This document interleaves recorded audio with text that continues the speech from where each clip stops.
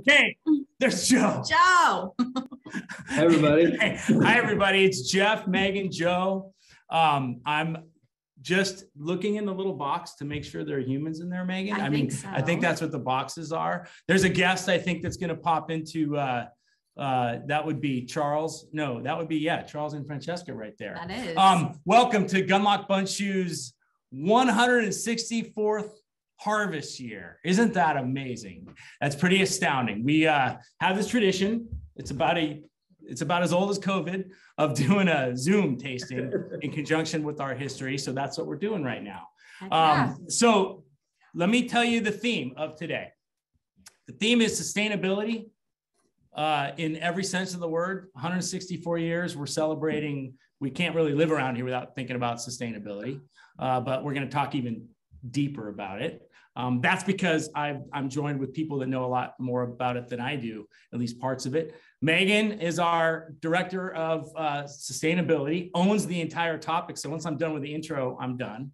Joe runs all of our winemaking operations. Has a, can you say hi, Joe? Hi, everybody. Oh, good. That was just a test to make sure I could hear you. It worked. uh, and then uh, basically, Joe, I aside from making all the great wines here, is somebody who's very passionate about sustainability in every sense of the term. And then I'm Jeff Bundschu. Unfortunately, you probably already know who I am. Lucky you guys. It's I'm, I get to do this a lot, but I'm pretty excited. And it's not just us because surrounded here, I see Devin, Tara, Sam. I know that Marina. Marina and uh, Abby. Abby are in there. So this is like the entire posse is here, and we have thousands of pages of content to prove it. Um, anyway, uh, we have a couple special guests to get to. Uh, first, the rules. We're in Zoom. We should be pretty familiar with Zoom by now. Uh, it means, well, this version of Zoom, we don't get to see your beautiful faces. So we're just imagining, at least this part of we, you all incredibly beautiful and scantily clad men and women. Um, and those of you who uh, can't see each other, you need to know that you're from around the country, right? All over the place. I just saw there's Yeah. like, like most of you are in places where you don't need one of these, a spit bucket, because it's already well past uh, drinking hour. And I have this just for good measure. Uh, and then you also are a special group because most everybody on this drinks wine every day. A few of you get paid to drink wine every day. We want a special shout out to that group. Oh, there's Joe. you too, Joe. right on. Um, that means there's a lot of people out there that uh, help sell our wine. We're very excited to have you all in one place. But really, what we're talking about is sustainability. And why sustainability matters to us is because, well, we've got another generation coming along, and I'm going to invite the first special guest to come on in if we can make this work, because I think we have a star. Is it going to happen?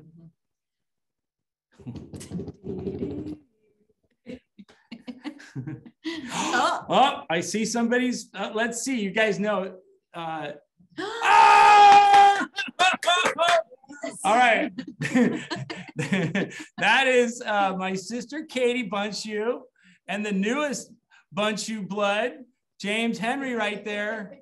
Oh, look at that. Hello, Oh. James. James, uh, is it, uh, do you like Pinot or Cabernet?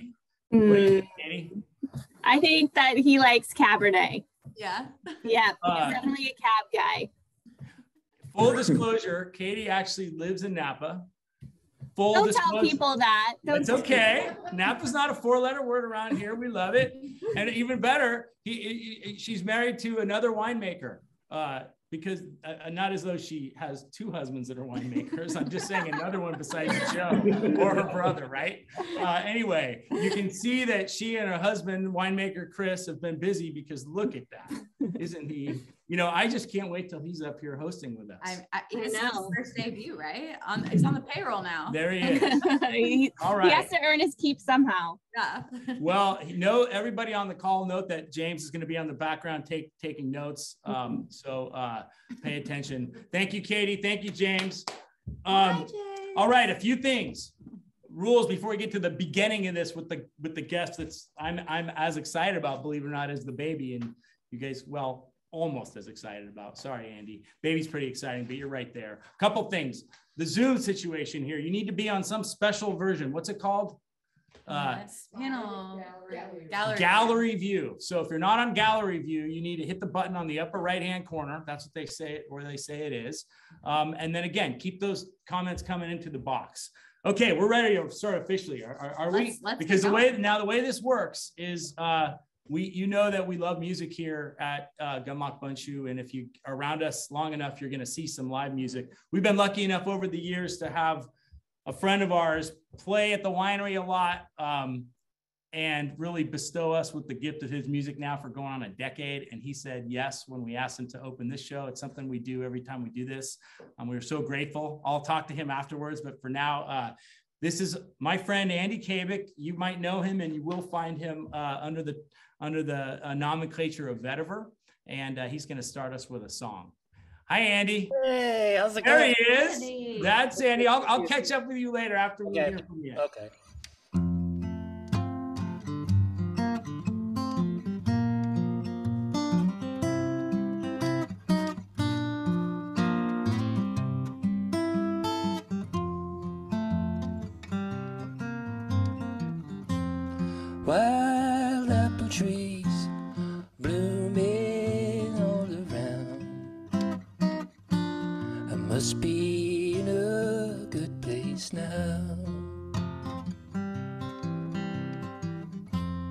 Sunshine coming through a rainbow colored sky. Paints pretty pictures in my mind. Oh, what a good day to go fishing. And catch the sunset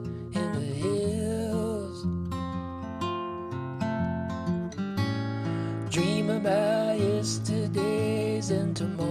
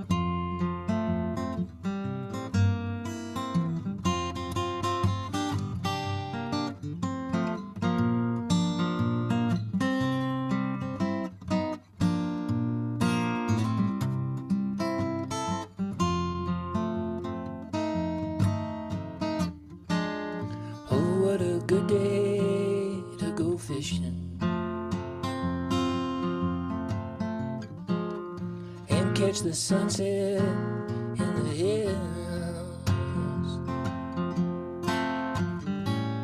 Dream about yesterdays and tomorrow. And hope that you'll be with me still.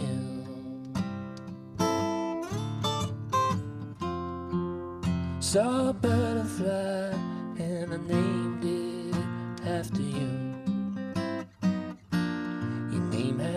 such a pleasant sound.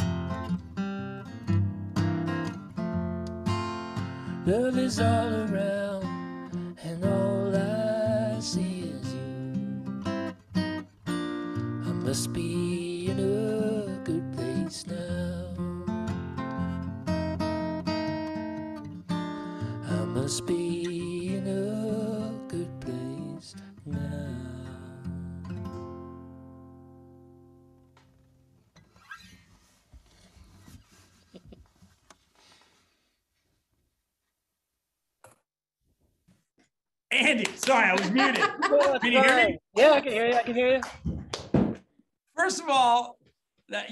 one even know no one around here even knows how much uh, that um, that's basically I remember the first time you played that song here with Eric. Uh, I know it was the first time you did with Chica. I think they had that crew to film us. It was really special. And the Uh, thank you for what, that. house, what, Wow, build- that what building was that in? That's uh, that was in the bungalow, and it was before the bungalow was that's remodeled. right. That's right. It was sort of uh, so it was a it, for those of you if you dig it up, you can find Vetiver and Fruit Bats on YouTube singing a duet of that song.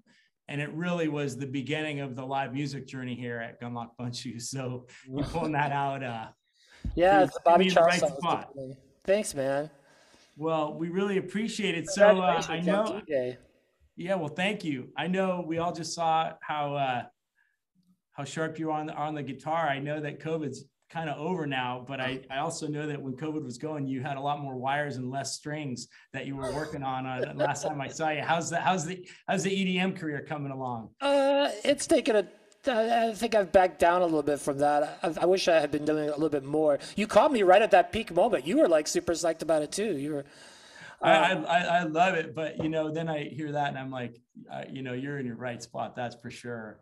So uh, I noticed you're going on the you you have a couple shows coming up. Is that beyond California or just? Yeah, I'm touring the West Coast with Fruit Bats with Eric. Oh, nice. Yeah. Um, That's awesome. yeah, uh, so we're playing Ohio on Monday, San Francisco on Tuesday, and then our tour dates are on our website. But we're we're playing with Fruit Bats up in the Northwest and Midwest.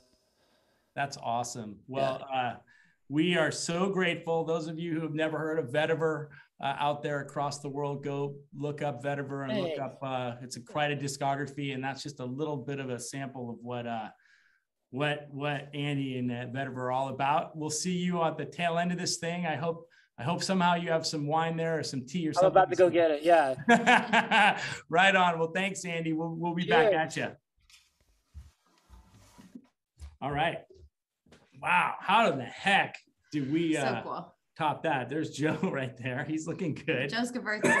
I'm doing? so relaxed right now. I can't even tell you. uh, all right. Well, listen, we're gonna get going on this, and that's that's a hard act to follow. Um, so sustainability. I'm just looking at Joe's face right there. I- it's, it can, so is there a reason to skin him even though he's not talking? It's pure bliss over here. Oh, here we go. there we go. All right. So listen, this is where we get serious This because is- you're you're supposed to learn something on this, and I, we want to and Test drink you. wine. um, before we even get into the sustainability theme, uh, we like to start with just a reminder of where uh, we are. And I don't have my handy little pointer, so I will use my finger. Well, you can't even see what I'm pointing at. the bottom line is you see that little black Thanks for illustrating that. Yeah, that GBW down there under the word under Sonoma, that's the ranch right there. But I want everybody on this call and starting most importantly with those of you the farthest away from here who are don't get out here enough to pay attention to where that is. Um, we are s- basically halfway between the Golden Gate Bridge and Calistoga, the top of Napa Valley, which is really interesting when you think about it. We can get to because of freeways and roads, we can get to the Golden Gate Bridge a lot quicker than we can to Calistoga. That informs uh, that proximity to the San Francisco Bay to our south, which is only a few miles from here, plus where you see the, the arrows coming up representing fog from the south, uh, plus our direct line from the Pacific Ocean to the west, makes our whole hillside vineyard cool. It defines all the asset of all the wines we're going to talk about today. Um, I just like to throw that out there because wine country is big. Uh, Sonoma, within the context of wine country, is big. And we are at the far southeast corner of Sonoma County, right? Uh, and the far southeast corner of Sonoma Valley, very influenced by those coastal regions. And we'll, I want you all to have that in mind when we pull up other maps to talk about the vineyard. Joe, does that make sense to you? I wasn't really listening, Jeff. So yes. Very good. Megan, you? All good. Yeah. All right. Well, then there we go. So let's talk about sustainability.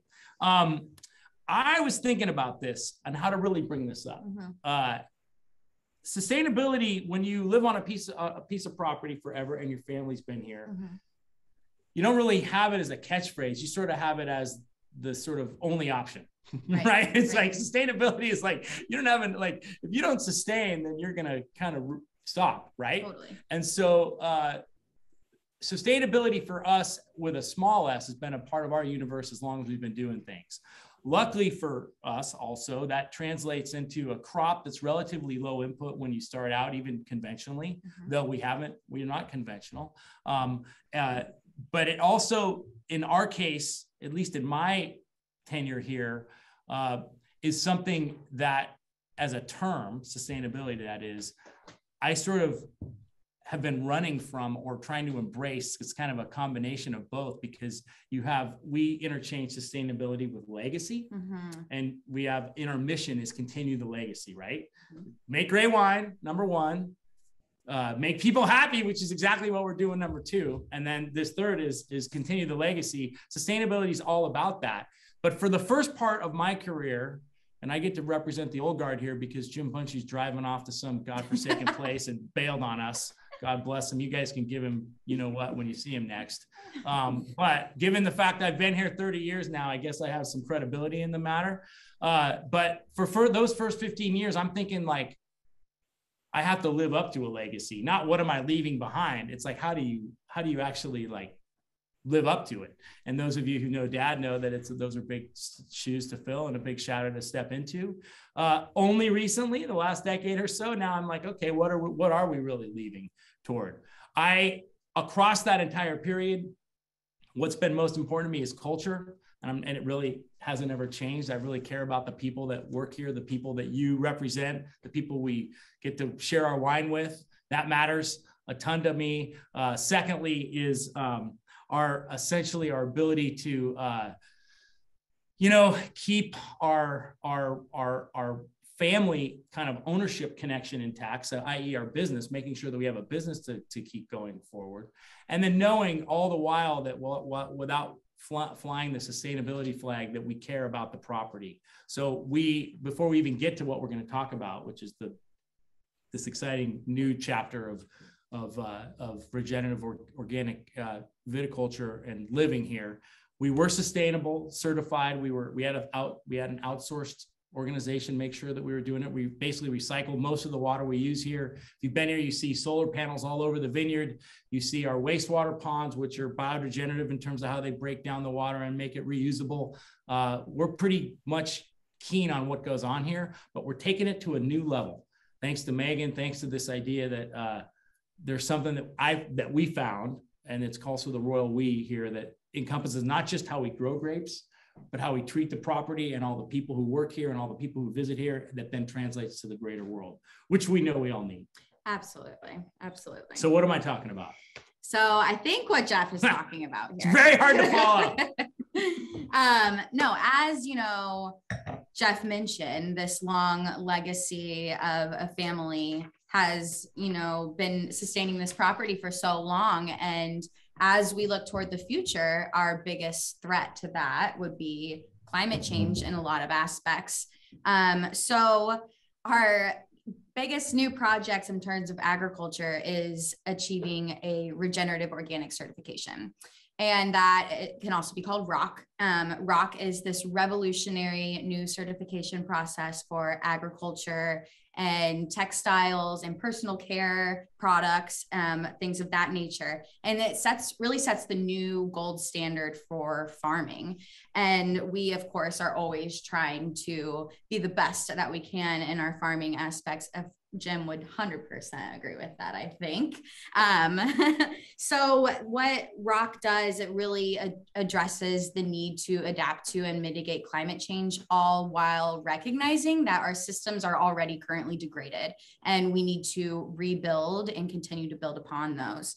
And what really sets it apart from the other environmental certifications that we are most accustomed to is the fact that we're taking our social aspect into the forefront. And that is mainly surrounding farm worker fairness. And we lift our farm workers up as much as we can here. And this kind of just solidifies that and gives us transparent transparency with our consumers. Um, it also boasts this huge soil health category where that is where we are getting the most resilience as possible on our land and for our vines. Um, the least possible intervention while building our soil health up in order for our vines to do their job on their own. And then, of course, there is the animal welfare aspect. With ROC, you are required to introduce animals to your property. So uh, we have definitely done that over the past six months or so. And um, it takes into consideration how you treat them and how they are interacting with your property. Um, so with that said, that's a lot to unpack and we are definitely going to do that throughout this uh, time here. But um, I think in order to unpack it, we kind of have to go all the way back to the beginning into 1858 when All right. So Jacob. hold on. We're going to stop and talk a little bit about conversion meter first. Can you go back to that previous slide, Devin? Thank you. So, um, couple things, three pillars, because there might be a test on these things, right? Oh, okay. I, I don't right. know when they're going to show up, but they might show up. Watch out. So these are important. And I just want to call out that, uh, and it is a call out because it's a call out to the whole industry. Part of what was attractive to me about this process, as it was with fish friendly farming before it, is that we had an outside the wine industry organization validating our approach to sustainability. Um, it's very, I'm very skeptical. We are very skeptical of quote unquote sort of industry funded, industry Mhm. supported, uh, you know, certifications. As much as I believe in the certifications that our industry puts forth, and they're generally pretty good, I'm 100% for having someone from the outside come in and audit us. And that's what we've been doing as long as I've been in charge here, and that will continue to do it. We had farmed toward uh, organic. We're, we're on the way to certification a couple years ago, had to pull back because of some other issues. Not only is this leaning right into full organic certification, but this regenerative piece is super awesome and critical, as we said, because it gets everybody in all parts of our universe involved, which is which is great. All right, Absolutely. so- So, I want to make one little comment that uh, you kind of made me realize I forgot that we will be certified organic for our grapes this year, which we are so excited about. And that is kind of a prerequisite for the situation that we're looking at here. And we are practicing all of these things now to kind of get ahead and be ready for the audit and get it going. I think that we're going to be the largest. When we're done, Yep. we'll be the largest organic grape grower in Sonoma County. that is certified. Pretty darn regenerative. exciting. Yeah. That's, there we go. So, all right, we can show Wine. so uh, let's talk. I mean, oh, I didn't even tell you guys. Uh, ask you to open your bottles. I'm assuming you have some in front of you. We do, um, and so we're just going to talk about what we have. You are welcome. You hopefully have some of these things right in front of you, but we also are game for you drinking anything else. Uh, old vintage Gunlock Bunch, you chime in on what you're drinking, share it with us, share it with the chat box.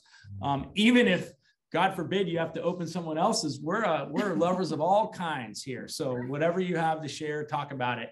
But anyway, Gewürztraminer. We're starting with this because I, you know, along with a few other varietals, it's been planted on Rhine Farm for as long as there has been a Rhine Farm. Mhm. Um, I have some thoughts about Gewürztraminer, um, but I think we need Joe to talk about it so that we can bless drinking it because I'm getting really thirsty. Thank you, Joe. Go ahead.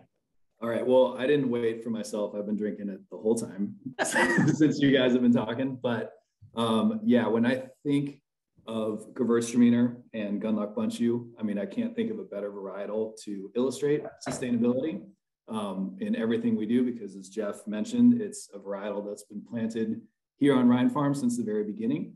Um, but furthermore, kind of into the future, you can see kind of these purple blobs right here. Uh, those represent the uh, three blocks of Gewürztraminer that are in your glass right now.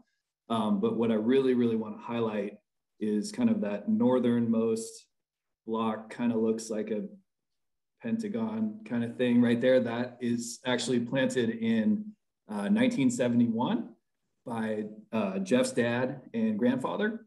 And it produces one of the most amazing, um, not only Gewürztraminers that I've ever tasted, but wines in general. Um, it would not be something that would be planted today. Um, it's got this kind of weird California sprawl uh, trellising system to it. But what it does, and really, really wide rows, I think they built them to drive covered wagons down or something like that. Um, but what it does is really produce this really amazing um, Gewürztraminer that has the whole kaleidoscope of what Gewürztraminer can offer. Um, it's got tropical notes, it's got spice, it's got citrus notes, and it's all kind of wrapped together in this one block. And it really is, you know, the heart of what is hopefully in your glass right now. And, um, you know, it's what we try and capture. It really is what makes this, this bottle of wine so special. Um, and it's lasted the test of time. And special blocks do that. You know, it doesn't matter what varietal it is. It doesn't matter, you know, uh, maybe where it's planted. If it doesn't make sense, you know, by today's viticultural standards, if it makes a really damn good glass of wine, you know, people are going to keep it. Um, and that is, to me, harkens to um, sustainability from a winemaking standpoint um, entirely. So um, I just, I really think that this this bottle of wine, starting off with this, you know, this topic that we're talking about, it's so important, um, not only from you know a citizen of the earth standpoint, but just for me geeking out on a wine quality standpoint. You know, I can't wait to see what this does. It's only going to elevate what we do. Um, selfishly, you know, I'm just I'm a little bit sitting back. You know, I, I, love to talk and geek out with Megan about it, but um, it's it's really her driving the bus and Jeff and the vision of the family, um, and I just get to sit back and reap the rewards of you know all these great things that we're doing. Thanks, Joe. I saw I saw somebody chime in in the peanut gallery down there. Uh, the sobriety test in Sonoma is if you can't say, there it is, right there. So uh, there it is. It's Teresa Shaw. You can see that from here. Look at these people. wow. Hi, Teresa. Uh, yeah, sobriety test number one is if you can't say gunlock punchy versus mean you shouldn't be driving. I guess number two is if you can't start a Zoom thing straight up, you, you have your own issues. Um, all right, so uh, a couple things that I, you guys probably don't know. Anybody here? I'm looking. I got a. I got a. We got an audience yeah, ourselves right here. But you know that. Uh, so when I, we had a lot of varieties planted on Rhine Farm when I started, and part of what was happening was that there was this idea evolving in the world of estate wine growing that you figured out what few things you could do exceptionally well, and you focused on those things. If you we remember the winery started relatively restarted after a hiatus of a couple decades in the early 70s and in the in the downtime which megan will talk a little bit even deeper about uh, there was basically it was an ag operation. And the reason that the and in that case you're sort of trying to make sure you have enough planted in the area to like weather all storms, which means if there's demand for one varietal and not for another, you want to make sure that you have a little bit of all in case whatever you have goes out of favor, another one comes in. So there's a lot out there. I came in and actually started cutting varietals out. And in addition to Gewürztraminer, we had these other historic German varietals that were heritage that were came over on the boat. Uh, Sylvaner, yep. uh, Johannisberg Riesling, and this one varietal of which we only had four acres of uh, no, of which there were only four acres in the whole United States, and we had them all. It was called Kleinberger, and I cut them all out of here, and they're gone except for one Kleinberger. Man, but what the reason that I did that was because all those other varietals were sort of also rans versus like their old world benchmarks. Um, they weren't as good, or as or, or we we couldn't make them as valuable as as like their the homeland, so to speak, and Gewürztraminer stood out uh, way above, shoulders above, to the point that we even swapped secrets and children, not wives, but children with the Trimbach family. Those of you who are into wine know that Jean Trimbach and uh, Hubert Trimbach. Uh, I know there's some people on this call that know who they are. They're basically pioneers in Alsace they, you know, I think it's tough having to live up with six generations. They have like 17 generations, John does. And John came over and worked to harvest here and he ruined, he crashed my car. Oh no. I wasn't old to drive, but it was my car. I was getting ready to drive and he took it and drove it into a wall after after after after a night of big harvesting, so to speak. anyway, uh, that's because Gewürztraminer here is aromatic and it's incredible. And and I stand by my choice, even though all the cool kids wish they had a little Sylvaner and a little Joe Riesling. But, uh, you know, in my mind, this is for us to make it, it's got to be the best in the universe. I and this, this gets in there. Yeah. All right. So I see, Megan, that you've got some like. Well, I think with talking about our Gewurz, um, it was definitely brought on over on the boat from Jacob. Yep. Right in 1858. It was. When we founded the property and signed this deed. And with the signing the deed came with property, obviously. And this property here on Rhine Farm, 2000 Denmark Street, Um, we have about 195 acres just right here, excluding La Paz and Arrowhead. And within these 195 acres, 41% of it is native land and thir- only 34% is planted. So I think that um, that is a huge, huge thing for us in terms of sustainability and regenerative organics. Um, not only does the native land allow us to maintain wildlife habitat, um, it allows the beneficial insect population to kind of be able to live on their own and self-regulate and bring themselves into the vines. It also pro- um, provides biodiversity and all kinds of native plants. Um, we partner with Fish Friendly Farming, who was the first to um, certify as sustainable back in 2008, and they help us keep an eye on our invasive species and native species in order to maintain our native land as best as possible. It's called Fish Friendly. We have a creek that Yes. runs uh, the, on the on the northern border of our property, and so they have to. They're basically ensuring that the water that the runoff is clean, and by believe it or not, the teeth that come with ensuring certifying that your soil is clean enough to be within a sort of a fish habitat is pretty intense and Mhm. that's why we chose to have them certify our work absolutely yeah um, and so another benefit of this native land that jacob brought to the family um, it as we move into regeneratives and ad- adaptation and mitigation from climate change it provides an amazing carbon pool. So for people that are not familiar with that term basically all of this carbon in the atmosphere we can sequester down and hold in our roots and in our land and it makes it available for um, different plants whenever their biomass is growing. And it also can sequester more carbon. So this is kind of offsetting the work that we're doing in the vineyard that requires GHG emissions, which would be our tractor work and any sort of fuel combustion and things like that. So by maintaining this. okay, hold on can you just share with the audience um, what ghg is Oh, I'm sorry. Um, GHG emissions, those are basically any sort of bad emissions going into the atmosphere. Okay, I got it. I, I got that contextually, but I just want to brag about the fact that you could drop that to all these people. It works out. And see, Megan, you're worth everything. So good. so anyway, um, the, the GHG emissions, these are what's basically causing our, or, or at least our anthropogenic climate change, which is climate change caused by humans. So excited by these words. I'm sorry. It's hard not to get into like the nitty gritty when you're talking about it. Yes. Um. Anyway. No, I want you in the nitty gritty. That's, Yeah, that's so, exactly the deal. I wish uh, they could see you closer because it's awesome.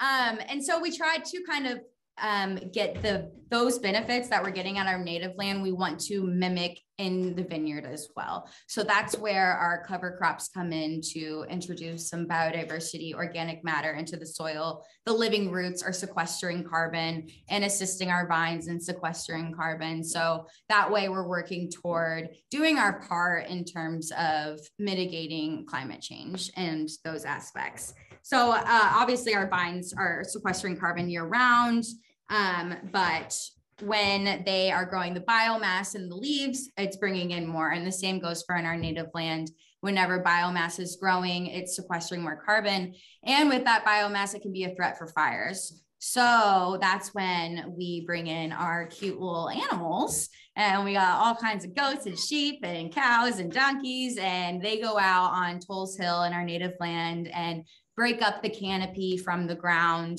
which is basically fire prevention for if the time comes. Um, and they do that in the off season, which is a fun way to manage our native land. All right, let's move to the next wine. We're oh, Oh, trivia. oh, trivia trivia time. I wondered why we were there. Okay, what is uh wait, Sean, we have a okay, Oh, I have a question from Sean. I think it's a, a good question. go ahead. Okay. Wait, wait, you know what? Let's do trivia And then and we'll let's answer Sean's Okay. question. We can't let Sean derail this whole thing. Sorry, right. Sean. Sorry, what do you think you're doing dropping something right on our lap like this? um, all right, what's the trivia question? Do I have it in front of me? Oh, I do. Hold on. Suspense is killing me. you know, do you have it? I know. Uh, oh, here we Oh, go. here we, we have it. Here we go. Oh, got it. Okay, trivia slide. Oh, okay. What are the three pillars of regenerative organic certification? I think Sean can nail this one. Got it, Sean. The three pillars of organic certification. I You know can- 'em? no, they were just up there. I'm sure I could come up with them. Soil health, animal welfare, social. Oh, Kathleen, that's the the acronym for regenerative organic. I know you, so I can say that. I think we stumped them. well, someone got it, I think. Oh, did someone get it?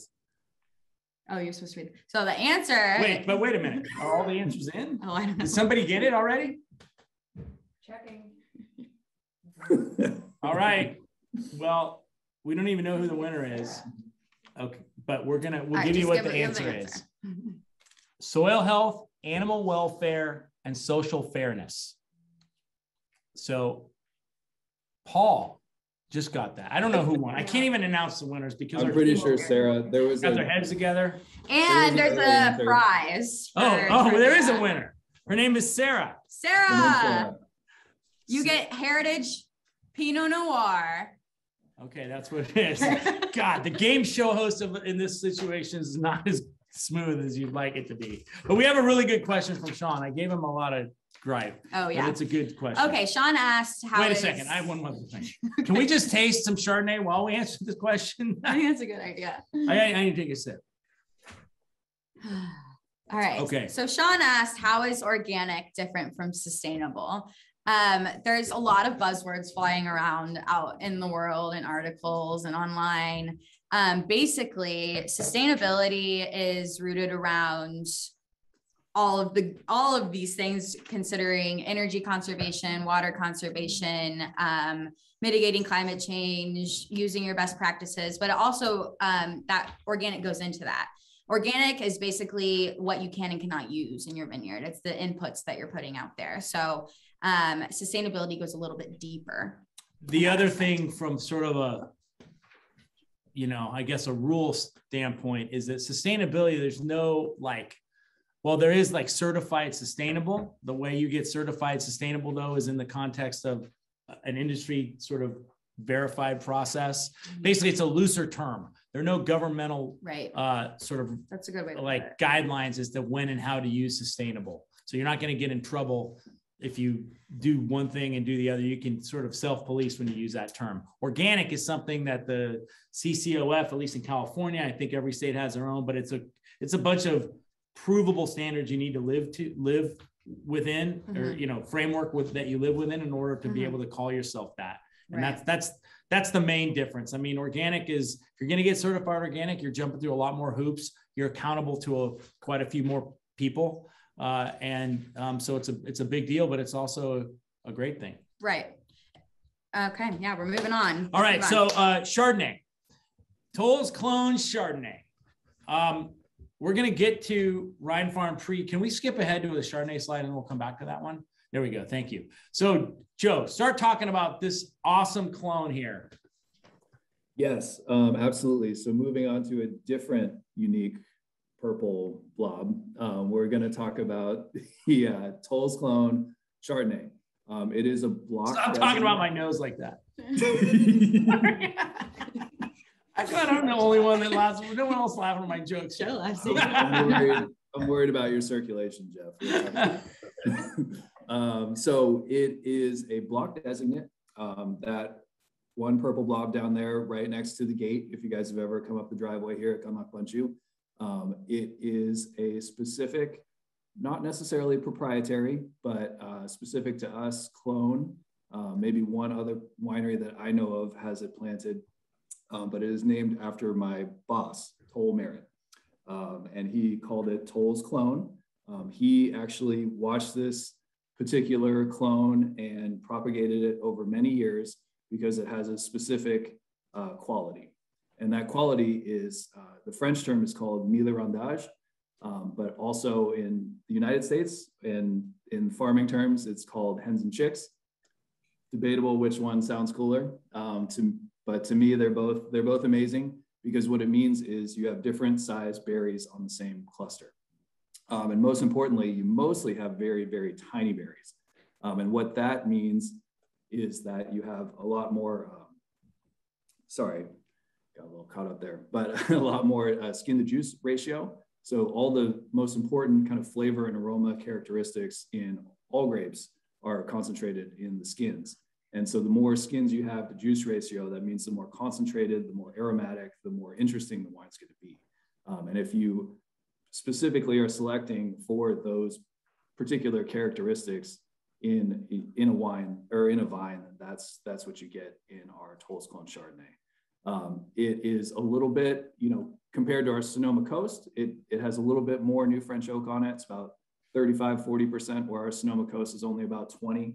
Um, it has a little bit more barrel age and a little bit more batonnage. We are kind of trying to give it a little bit more of a reserve character to it. Um, but what's really kind of, I think, interesting about it is we only make, you know, four or 500 cases of it. And then the rest goes into our Sonoma Coast Chardonnay, which comprises about 10 to 15% of the blend in any given year, you know, depending on the yields and things like that. Um, but again, you know, harkening back to sustainability and the, you know, whole theme of what we're talking about, this is really, to me, it's a, it's a heritage clone. It's something that, you know, was propagated over many years.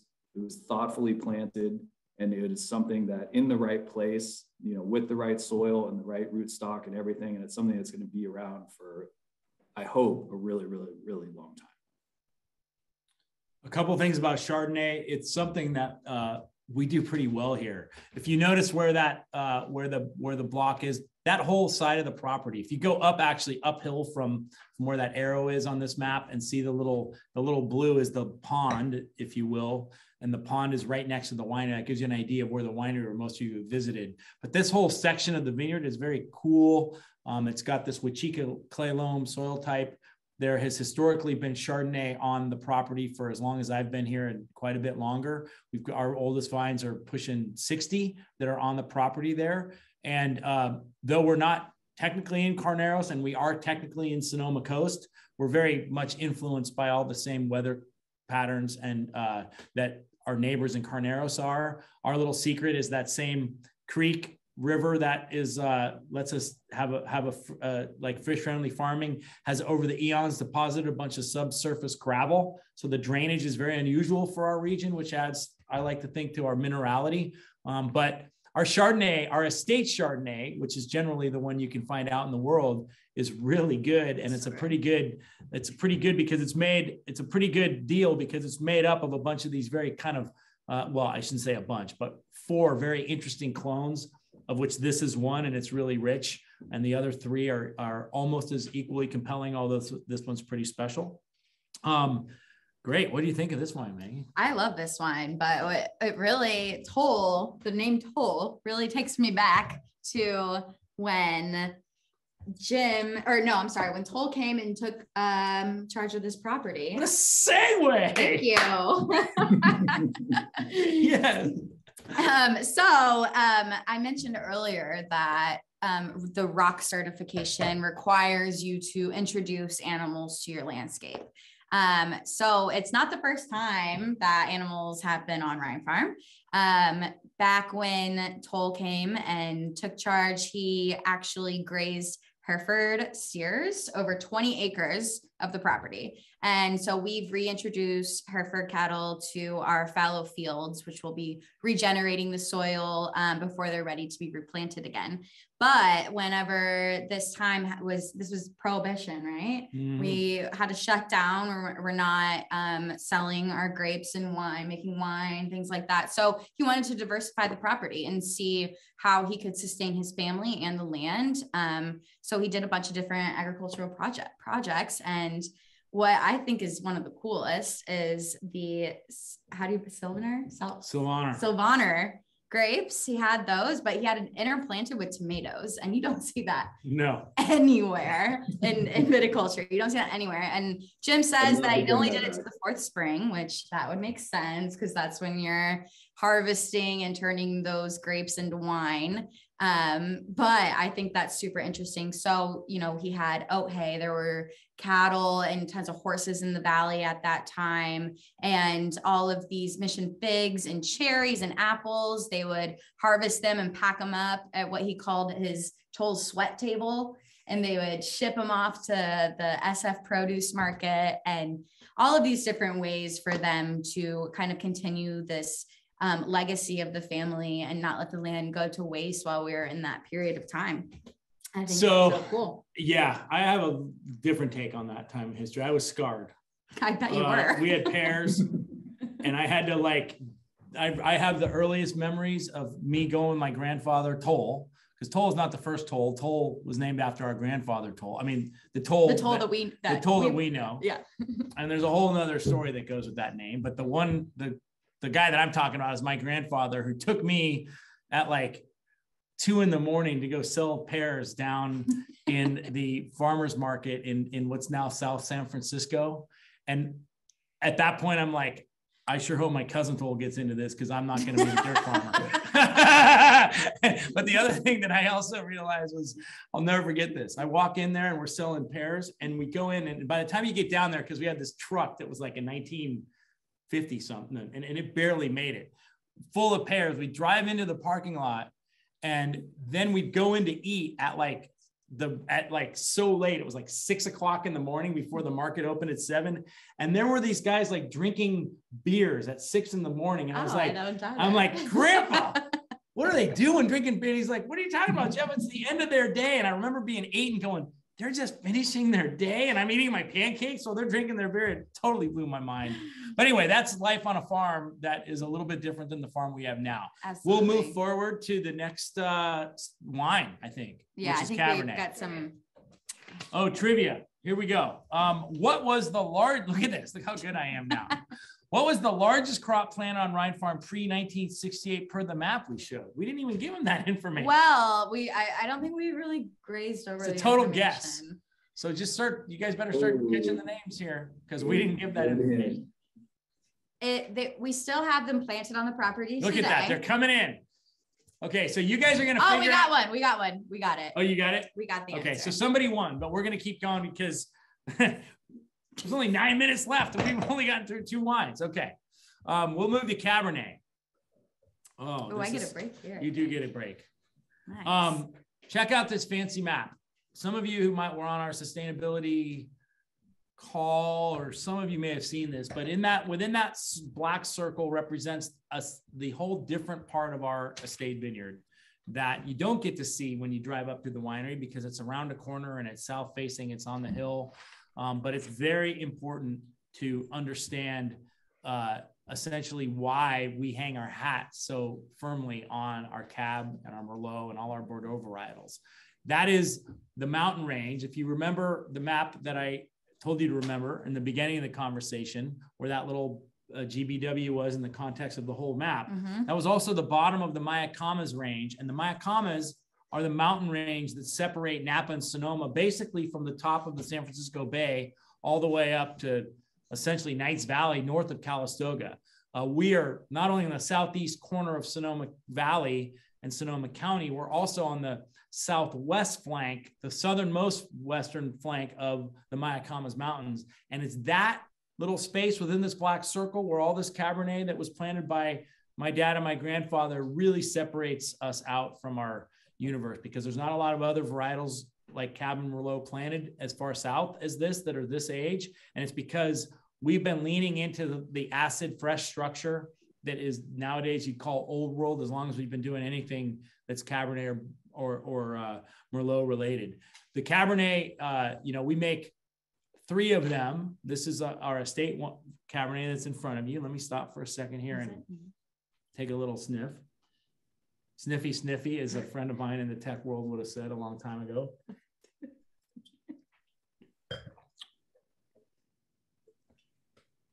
What do you think of that, Megan? Mm. You got anything to say about that? No. So a couple other things you know before I hand it to you. I want everybody to look at the bottom of the Winkler scale. That Winkler scale. That is not the Fonzie scale. Just for the record, that is not the Fonz we're talking about. That is a joke that works. Yes. Uh, no. So what we're talking about is some guy named Winkler basically uh, mapped out the global regions, almost the bands, if you will, the belts, the bands around the planet where premium wine grapes grow. And you know, you have the equator in the middle, and then he sort of separated northern and southern hemisphere and began to quantify and equalize uh, growing regions based on the amount of essentially what we call degree days in, in a given region and that so that we can compare it to everything else. And so where we find ourselves right in Sonoma Valley, Southern Napa, which is also down there, is much more in line with Bordeaux than it is with say Spain or with uh, you know Italy uh, or uh, you know, and or, or, for that matter, even like southern or, or, I'm sorry, like northern Chile or northern Argentina. Um, it's a relatively cool, it's a cool climate by winemaking standards. For the record, and this is a rabbit hole that I don't have enough time to go down, but I'm going to do it for a second. The first guy to identify the the impact of climate change on wine, what he did was he took the bands, like I said, the bands of wine growing, and he applied the sort of the, the, the impact using the historical data of carbon changing on temperature to like 30 years forward. And he used like an aggressive, a medium, and a non-aggressive. And he watched those bands separate farther from the equator and going up. So as the as basically he pontificated, this is like 25 years ago, a guy from Oregon State, or uh, who basic or Southern Oregon, I'm sorry if you're on this call. He basically recognized that as the planet got warmer, the optimum range for wine growing where you need this diurnal shift in acid would be farther and farther from the equator. And so you go up like that. So, you know, if you are up there in the Okanagan Valley, there you go. You can do that. Anyway, I, that's the rabbit hole that you come rescue me from, Joe. that's not quite the segue that Meg gave you, but that that's okay. I'm kidding. Um, yeah, it's it, it truly is. And Keith, our executive winemaker, and I talk about it all the time, but that um, the environment, the mesoclimate that we have here on Rhine Farm really is a gift. It's a gift for making Cabernet, especially because we have, you know, that cool climate that Jeff was alluding to, and it really just allows for hang time. And hang time is, you know, a buzzword. It's probably way overused in the wine industry and in trade and everywhere else, but it's it's a, it's a real thing. Um, it it just it matters that the grapes are able and the vines are able to metabolize things other than sugar during the maturation process, and that is so incredibly important uh, from a winemaking perspective because you know all that important work that Meg is putting into the soil and regenerating it um, gives you know the temperature and the environment that we have gives the vines the time to kind of assimilate that into the grapes. And it's not um, it's not necessarily like you can taste the volcanic ash that's in our soils at La Paz. Um, but it does allow for those the best characteristics of the grapes that are planted within there to to shine and to really be at their very best. Um, and what is truly amazing. And this is probably a little too much information, but we get to kind of kick back when it comes to cab and pick the grapes when we really, really want to.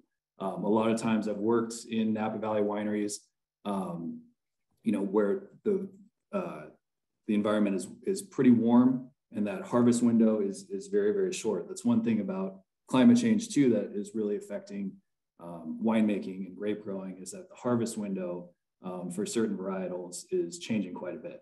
And by that, I mean that it's, it's shrinking. Um, so there's really not enough time to get the maturation that you really, really want. Um, but we don't seem to have that here. And it's, it's really, really intriguing and it, it makes it very, very interesting and high quality wine. Um, and it does also in another, you know, different rabbit hole altogether. But that cool climate, again, also gives us really nice natural acidities.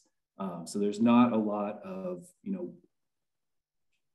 messing around with the must or changing the way that, you know, the characteristics of the grapes that come from the from the soil themselves in the winery. So it uh, it's it's really really special place for Cabernet. Thanks, Joe. Um, yes. I have some information. Somebody up there asked the person's name that did the study. That did the study. His wow. name is and his name is Greg Jones. Uh, and you can, he even has his own Wikipedia page that I just found. Aren't, aren't that, isn't that awesome? Prove that I'm not pulling this stuff out of you know where. Um, I saw him a long time ago and Greg Jones, I don't know that he's a doctor, but I do know that he is one of the foremost authorities on the wine, on climate change and the impact on wine. Uh, and it was an interesting lecture a long time ago. And that was before there was like widespread acceptance that this was actually happening. And I went, saw that, asked my dad about it. Was he would remember this conversation because we were going duck hunting afterwards. And he said, uh, he said, I believe it because he talked about the only weather station around here is in Rutherford and Napa Valley. And he said that there'd been a four degree change uh, since the 50s. And this was probably in 19, no, in 2005 or so that I saw this lecture. And, you know, so he's saying a pretty big statement, four degree temperature change. And my dad agreed because he goes, he, but he, and he, and he, he said intuitively what Greg Jones had said on stage, which was, it wasn't that the days got hotter. It's that the, it's that the nights didn't get as cold. So that four degrees was about how things, so that it's a whole way of, you can just totally see it.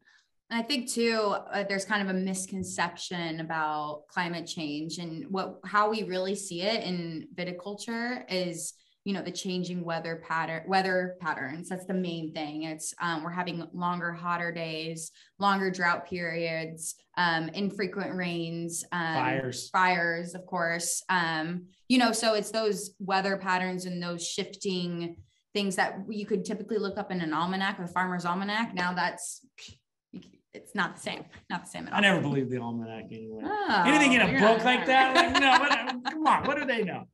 Sorry, I'm allergic to dirt. Um, okay, so can you go? What's is it? A, is it trivia? No, it's we talked about Cabernet. Is it trivia time? yes, it is. Okay, what's what's the name of the actor that has some sort of weird temperature measurement? Uh, no, what, what's the name of the scale that we use to compare? Uh, I just gave it away. Somebody just told me. Oh in yeah, that they're RP. they're flying. I mean, that was- I mean, what do we think? They're in like second grade? oh, Sean, of course. Sean. Sean Curry. Oh, Okay. is he the one that asked the sustainability question? Oh, Yeah. and then Katie, sorry, Katie Hansborough, you won the uh, other one, the previous one. So you guys are swimming in it. Uh, Um, the Fonz, the Fonz answers get a special nod from oh, the ones coming first. Time check. We're we're we're we're supposed to fit gotta, all this get to. an hour, um, Yeah, and we're getting It's tough. close. So I'm going to invite everyone to stick their nose in this glass, this Heritage Merlot. Um, for those of you who would like to try to sell this wine, you can't because we only make it and sell it ourselves. I think the production of this is very limited. It's very small, so it's kind of a special wine to get your hands on. Um, but uh, while we, before we talk about it, let's go back to those. You want to? Yeah, let's go back right right, there and just all right. finish this thing up. There it is, because this is important. Yeah. Yeah. So, Sean, you asked the difference between organic and sustainability earlier. This is a good indication of really what sustainability is. And these is this is the triple bottom line of sustainability. You want to be treating your environment the best way possible while supporting your people and turning a profit. And that's really what the Bundschu family has been doing for 164 years. Except the profit part. that comes and goes, right? Ebbs and flows We're trying hard. so um basically this just all ties in in terms of we've been doing this for so long but now what's different is how we are trying to address the climate change issue and we are doing that with them uh, through the means of regenerative organic certification among other things and the ROC just really allows us to confront the bigger issues con- associated with climate change when you're talking about the people affected by it. You're talking about your farm workers, your employees, you're talking about how your um all your practices on the farm affects a bigger a bigger audience than you realize. And so just thinking about our community, thinking about our employees, uplifting our people. And we really just are trying to do the most transparent, best thing possible for our environment and our company to keep things moving along. That's it. In That's terms it. of uh, sustainability, we I'll have a few closing thoughts on that to when we get past this wonderful wine that we Yeah. finished talking about here. Joe Merlot. I know you love Merlot. Joe really plays it down. I- his teeth at some tiny little winery in Napa that is known for anything Merlot, Merlot, and that would be Duckhorn. Oh, did I say Oh, that out loud? They're of course known. Go ahead, Joe. Merlot's been following me around my whole career and I can't shake it. and it's okay because I love it. And it, it's a versatile variety. Um, it's as, in my opinion, as expressive of terroir, maybe just second to Pinot Noir, um, and a very, very close second. Um, and it is its downfall is that it is so versatile. And then, you know, we don't have to get in sideways, we don't have to get in all that crap, but um, you know, certainly it was overplanted in some places, so it, it got a bad rap. But in general, when planted in the right spots, like it is here on that purple blob um, on the pause, LP2B, um, it creates a really, really special wine. Um, this is again, this Heritage Merlot is a block designate. Again, it comes entirely from the, the block with that we have highlighted on the um, on the map right here, um, and it's it's just you know it's it highlights when you have again the right grapes, the right rootstock, the right soil, um, the right row orientation, you know, the right proximity to San Pablo Bay, all of that kind of stuff, you know, mixing together to create a very, very serious wine. Um, I would put this up against, you know, any Merlot that my former employer used to make, and I guarantee it would 100% hold its own.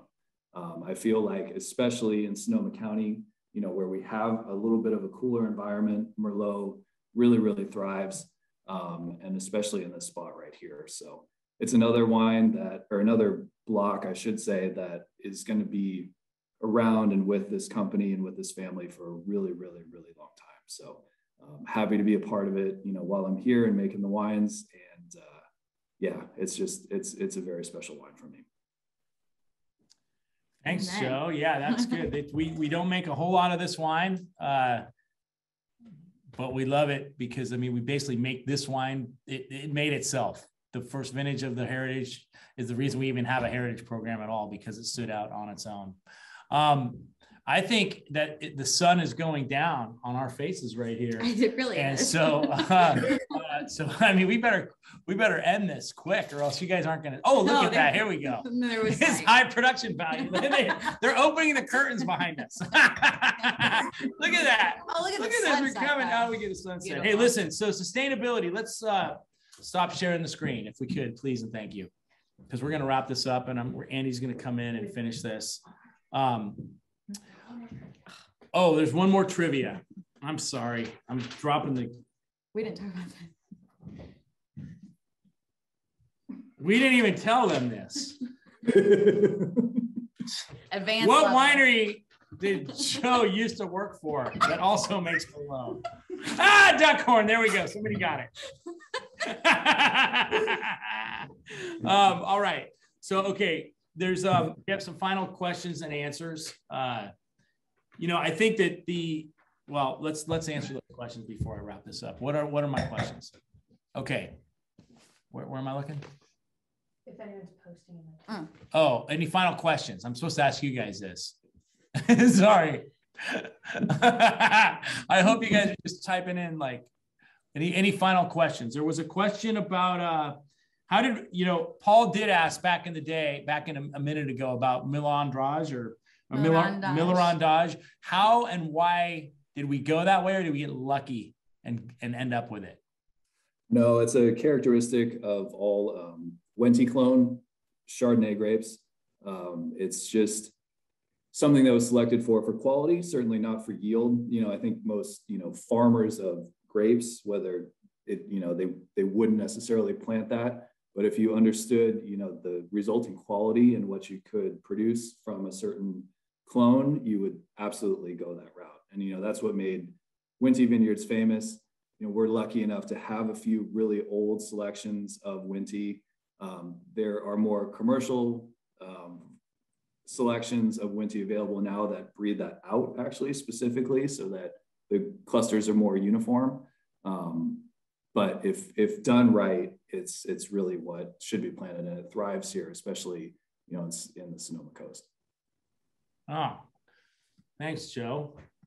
And thank you, Megan, for being technologically able. We just now see some more questions. Um,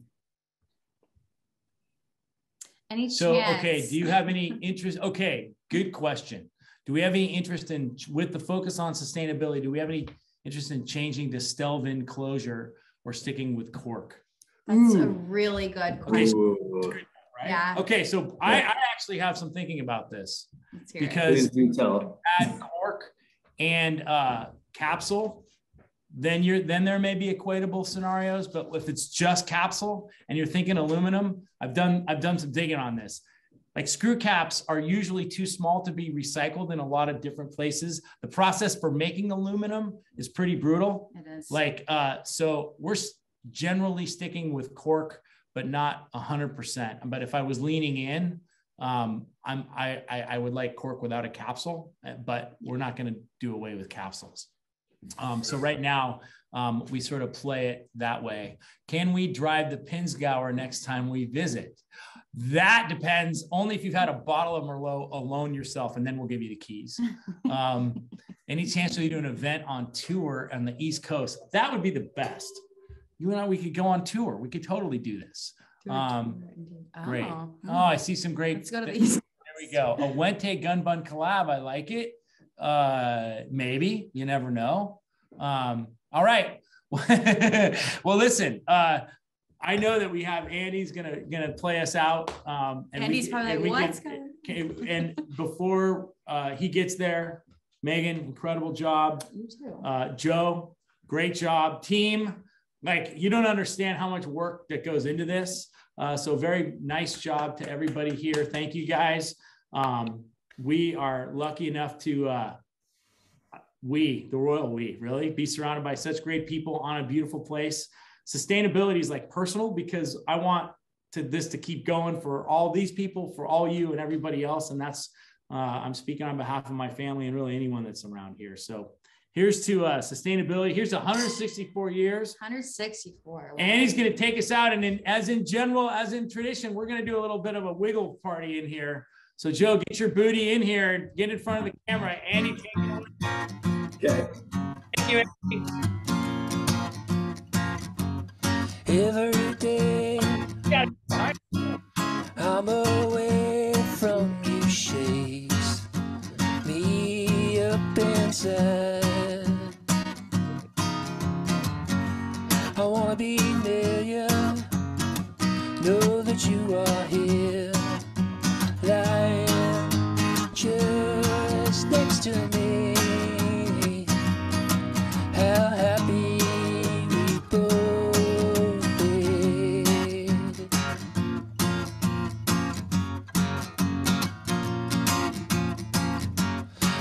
All time.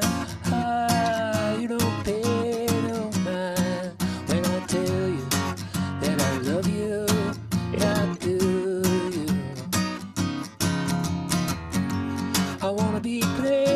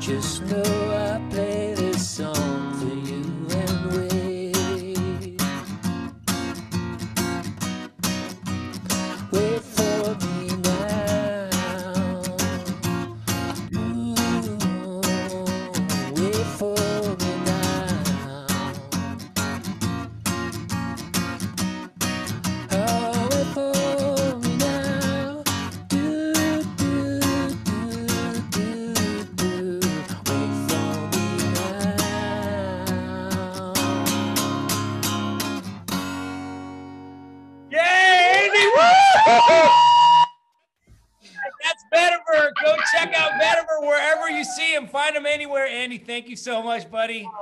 We love you. Guys. Oh, yeah. So good. All right. Thanks, everybody. We'll see you next time. Happy D Day. Bye. Bye.